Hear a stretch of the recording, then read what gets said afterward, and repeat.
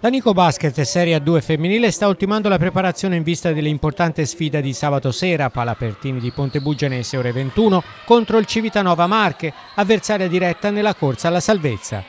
La formazione è Val di Nevolina e Reduce dal KO di Bologna contro la Mattei Plast, una sconfitta per certi versi preventivabile visto la forza delle Felsine, autoritarie soprattutto in casa.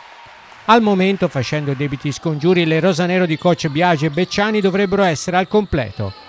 Le marchigiane invece arrivano a questo scontro dopo il successo, neppure troppo soddisfacente, di domenica scorsa con Forlì e dopo la batosta di mercoledì sera nel recupero casalingo della decima giornata contro Campobasso.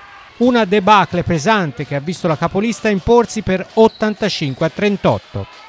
Attenzione però, l'impressione è che il Civitanova, che ha un record di 5 partite vinte e 7 perse, abbia risparmiato delle energie e delle giocatrici per il ben più importante match con la Nico, la guardia Ada De Pasquale, per esempio, una delle atlete più rappresentative insieme alla Play Perini e alla britannica Gaskin Pivot, a metà settimana non ha giocato, anche se molti la danno pronta per il rientro dopo un infortunio. Sapevamo che contro Campobasso sarebbe stata una partita complicata, ha detto nel post gara coach Nicola Scalabroni. È stato un modo anche per prepararci in vista della partita di sabato e anche se il parziale è stato pesante dobbiamo rimanere tranquilli e concentrarci sulla Nico Basket. Il sabato dedicato al basket femminile avrà inizio alle 17 con la festa di tutte le squadre che partecipano al progetto, dalle giovanili alla Serie A2.